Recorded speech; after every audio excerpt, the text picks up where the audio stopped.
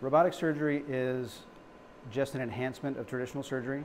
Uh, it's an improvement upon laparoscopic surgery, essentially involving small incisions in the abdomen instead of large incisions, where we put small instruments and a camera through those incisions and accomplish the same things that we would typically accomplish through a large incision. Uh, as a urologist, we treat um, cancer of the genital urinary organs, uh, prostate cancer, kidney cancer, probably the two most common cancers we treat. Uh, and those would typically involve a large incision, uh, a complicated surgery, major blood loss, and a fairly prolonged recovery time. We now do those surgeries robotically. People go home much faster, typically the next day on, in most cases, um, with a much lower complication rate.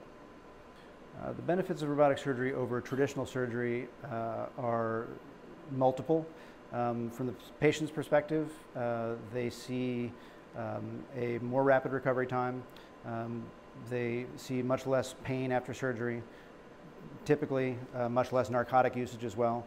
Most of our patients do go home the next day as opposed to staying in the hospital multiple days uh, for prolonged recovery. Uh, from the surgeon perspective, you see um, that you can do much more delicate movements with magnified view, so you can operate on very tiny structures that you would typically have trouble seeing with your naked eye.